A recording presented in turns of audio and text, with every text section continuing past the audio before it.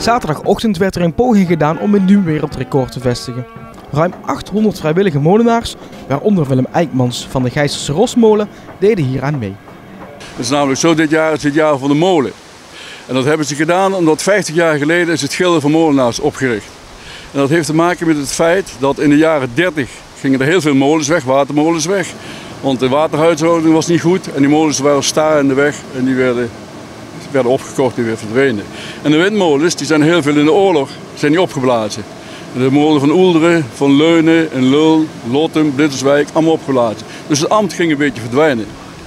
Toen hebben ze in de jaren 50 heeft een paar mulders gezegd, hey, wij moeten dat ambt moeten we bewaren, want die kennis gaat verloren. Er zijn bijna geen beroepsmulders meer. Dus hebben ze een vereniging opgesticht. En die vereniging die geeft opleidingen en die zorgt wat verwaarborgen voor de mulders. Dus nu zijn er 2600 leden bij die vereniging aangesloten. En er zijn er al 2100 zijn er geslaagd, die hebben hun diploma. En die zijn dus allemaal op die molens werkzaam. Speciaal voor het jaar van de molen heeft G. Reinders een lied gecomponeerd dat ook bij de Rosmolen ten gehore werd gebracht.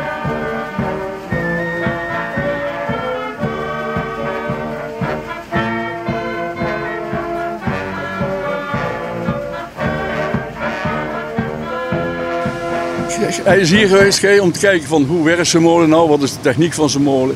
En op het eind zei hij zo van, hey joh, geef nou eens aan, geef nou eens in korte zin weer, wat houdt zijn molen in?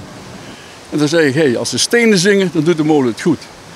Want namelijk zo, als die molen niet goed loopt, dan bonken die stenen wat en dan gaat het niet goed. Maar als die heel fijn loopt, dan zingen de stenen. Daar heeft hij een liedje van gemaakt. En dat liedje dat is dus ons Limburgs ja, accent van van die molenmaand geworden. Als windmolen namen in de gemeente Venray ook de Petrusmolen en Molen Nooitgedacht deel.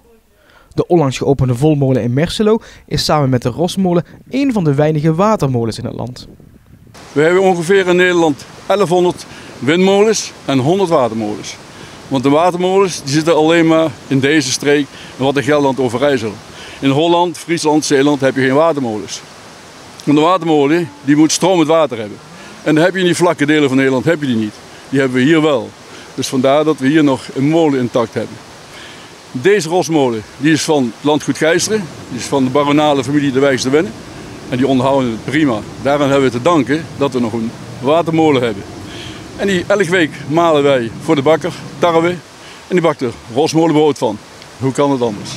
Ja, Nederland is dat ook het land met de meeste molens in de wereld? Weet jij dat zo? Engeland heeft ook heel veel molens. België en Frankrijk hebben ook heel veel molens. Maar ik denk de dichtheid dat Nederland wel een heel eind erbij zit bij de dichtste hoeveelheid molens. En dat komt omdat wij hele goede monumentenzorg hebben.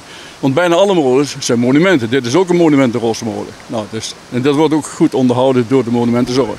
Kun jij je een leven zonder molens voorstellen? Ja, dat kan ik me wel voorstellen. Maar het is wel een hele mooie hobby. Dat heeft te maken namelijk ook met de techniek van zijn molen. En dat geldt voor de watermolen als voor de windmolen.